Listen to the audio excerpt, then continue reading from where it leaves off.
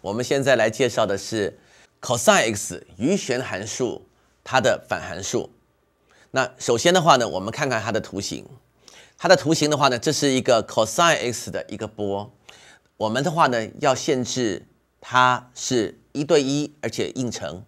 所以的话呢，我们必须要给它一些限制的条件。我们来看这边，目前是没有一对一。我们习惯的是说，放的一对一的话呢，左边这两片一定要只能够留一片。所以我们把左边的拿掉，右边的那部分这边也要拿掉。那我们现在的话呢，来，我们把它限制条件杀掉。OK，杀掉了以后的话呢，这个地方的范围是什么呢？这个地方是拍。这边是零，所以的话呢，我们就这么说了。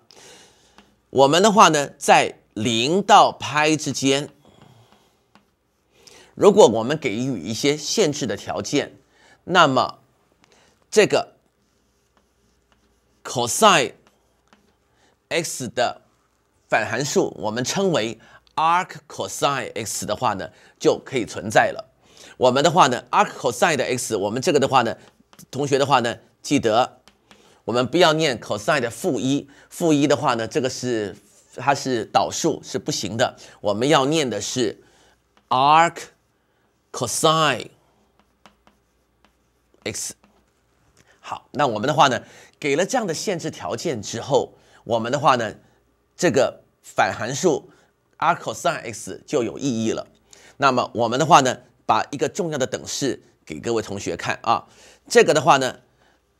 arc cosine cosine x 这个合成函数，我们要很注意的是这个这个式子的话呢很重要，它的话呢可以回复到自己什么样的情况 x 是等于 x 呢？我们只要 x 是在零到拍之间，我们可以直接对消恢复原状。再过来的话呢，我们的话呢。如果说是 cosine 的 arc cosine x 呢，我们可不可以把它直接对消呢？是可以的。那么这个地方的范围的话呢，arcosine 的话呢，这个地方的话呢，它这个的定义域是在哪里呢？它是在负一到正一之间。那么我们的话呢，有了这个等式之后，我们后面的对它做微分就比较容易了。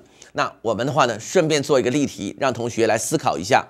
来，我们来看一看，arc cosine 二分之一。那各位同学知道答案多少吗？我们的话呢，就来想了，cosine 的话呢是将角度对应到数字，那么 arc cosine 的话是数字对应到角度。那这个地方的话呢，cosine 的这个是多少会是二分之一呢？我们知道它是三分之派。那么我们大概介绍了 arc cosine 的定义域以及值域。